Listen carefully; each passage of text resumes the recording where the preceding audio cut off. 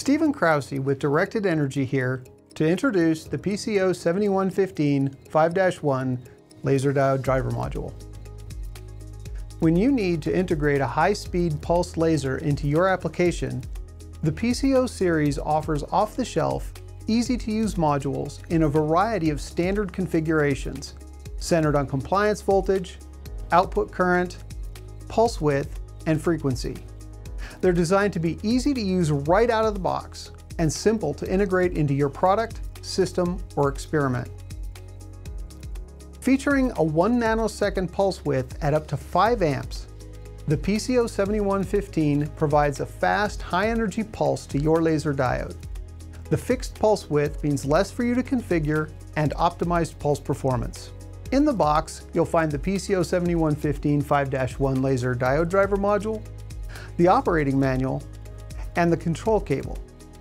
For volume orders into OEM applications, you can select whether you would like the control cable and manual for each module.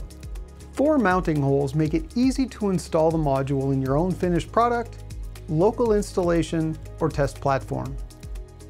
The control cable is included and provides an easy way to connect the trigger, 24 volt support power, and the high voltage supply from your system. Your TO5, TO18, 52, 5.6 millimeter, and 9 millimeter diode will mount directly to the module. For other diode packages, or situations where the mounting of the diode on the printed circuit board is impractical, two tabs allow the use of our low inductance strip line.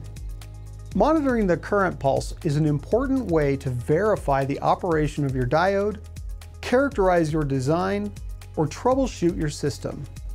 Safely and accurately monitoring a current pulse is as simple as attaching the PCA 9245 current monitor cable to your module and to your oscilloscope. Well, that wraps up this introduction to the PCO 7115 5-1 laser diode driver module. Thank you for watching. Contact us with any questions by phone at 970-493-1901, by email at sales at directedenergy.com, or visit our website at directedenergy.com.